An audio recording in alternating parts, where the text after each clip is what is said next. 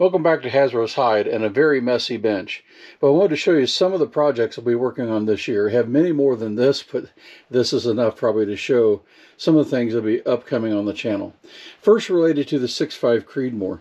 Been working a lot with the Savage 110 Desert Tactical Rifle, and it has shot really good groups, sub uh, 0.5, in fact 1.4 MOA, shooting this Hornady Match 147 grain ELD bullet. And that has been really, really good. So we're going to use this as a benchmark to judge uh, other results and changes that we're going to do that rifle. But of course, then we also are going to load our own and we'll clone that round and see if we can do better than that round and see what the expense is to do so. Maybe it'll be cheaper, maybe it won't be.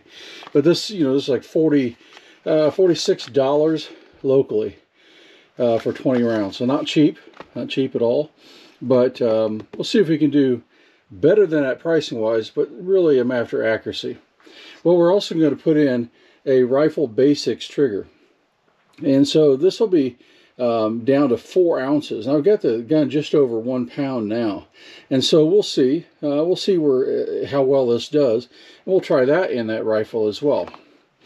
Um, beyond the reloading, well, beyond the bullet side, we're also going to be looking at some very expensive brass, but it has a very high reputation. So we have Peterson brass, we have some other brass, but now we're also going to try um, Alpha Munitions with small rifle primers.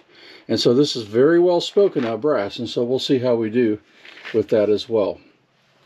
Um, beyond that, we have even more to do. If you can see this in the middle, this is a Boyd's at one stock for our Savage 110.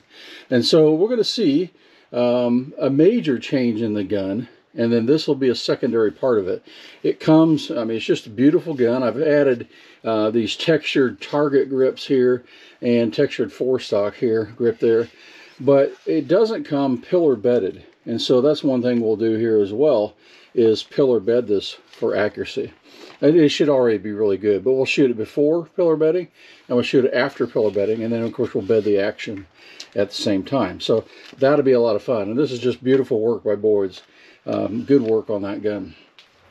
As part of that though, we also are going to have, it's on order, have coming in a new barrel for this. And it's going to be from X-Caliber, a 26 inch long, um, 1 in 7 twist, 5R rifled barrel. And so I really look forward to that, and we'll switch that out. The barrel from Savage is doing quite well, um, but based on some other experience from a friend's rifle with the uh, X-Caliber barrels, I expect to get really crazy good results, but we'll see. But to do that, well then we have to have, of course, a headspace gauge to swap the barrel out. And we'll do that. We'll show that process of changing the barrel out as well. Um, as part of the work, uh, well, I neck turn brass. And so these, uh, this is the, the turning mandrel for that, and this is the uh, proper expander for that mandrel. And so we'll neck turn uh, some brass, and we'll see how much that gets us as well. All in pursuit of dialing that 6.5 Creedmoor absolutely dead on for some competition work. And so we'll see how that goes. Well, we're also going to continue on with the 300 HAM'R. I've got another video on 300 HAM'R I just haven't posted yet because I just really wasn't happy with the results. That you know the results are just eh, just okay, not great, and I really wanted to see, I really want to show some great improvements. And so here we're going to have uh, once fired brass for that. So this will be all. Uh, we'll clean it and reprocess it and use that as well. Uh, we'll also then have these trimmers from Elite 3D Design. We'll convert some brass just for fun and see how that comes out as well. We'll, of course, again shoot some factory ammunition, but then we're going to focus on some hunting rounds uh, in the 300 HAM'R and then also some target rounds in that as well. Of course, the main purpose of that gun is going to be boar hunting um, down to Texas, but nonetheless, I just really want to pursue accuracy with that. And I've gotten good results, but not great results with 300 HAM'R. So we'll see what that goes. Um, not to forget the uh, parallel cartridge of that, the 300 Blackout. I have another trimming device for that, for converting brass from for uh, from 3D Elite 3D Designs. And so we'll check this out too. Just a neat little tool that makes that job much easier. Um, to continue on, 6 millimeter ARC. I've only done one video, and it's a slow motion video with our new 6mm ARC round. And I, I, don't even have probably 60 rounds to that gun. And it shot stupid good. I mean, it was really accurate at 100 yards. And so we have some more here. Some uh, game type ammunition, hunting ammunition, some more target related ammunition, and then uh, some should be very highly accurate target ammunition and exp or bullets, I should say, and expensive here. These Berger 90 grain uh, boat tails. And so we'll try those as well. But that gun is just shooting really well, and I, I expect it to do uh, even better with these. Uh, if I can get to it this year, I, I, plan to. These are just partial components. Okay, I, there are just too many things to put out on the table to show this. But these are all parts to build our own induction annealer. And so uh, instead of going out and spending $1,500 plus all the tools for the amp, we're going to build our own. And I have everything to do that. And I have one to build a 1,000 watt version, one at 3,000. And so we'll see how well we do with that.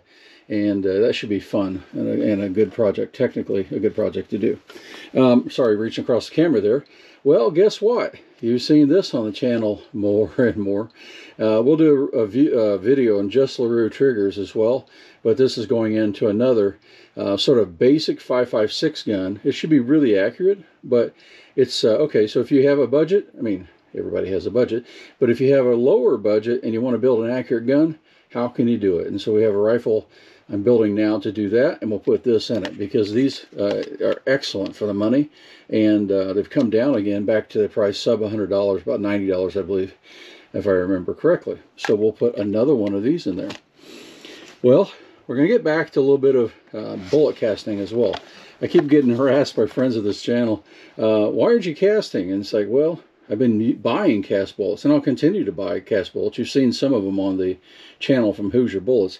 But this one, I can shoot down that 300 blackout, and I can shoot this one down the 300 HAM'R. And so we might check that one out as well. In doing so, well, we're going to do our own Hi-Tek coating. Uh, I've done. I'll continue to do powder coating. I've done a lot of that, but I want to mess around with Hi-Tek coating, so we have that as well. So anyway, I thought you might like to see just a few things going on in the channel. I mean, this is a messy bench, and this is not nearly everything because we're going to have a lot of 5.56 ammunition development, multiple bullets we really haven't shown or shot on the channel, and comparing back to our still in 55 grain, our Rainy Champ and Bob's bullets, but also then our 77 grain Sierra Match King for long range accuracy. Uh, we have other candidates to compare to that as well and other powders. So uh, a lot coming up on, on uh, 2023, and I hope you like it. Uh, if you do, give me a like and subscribe. And if you really have a priority on what you'd like to see first, put it down in the comments. I have a lot to do, and uh, your comments will be very valuable.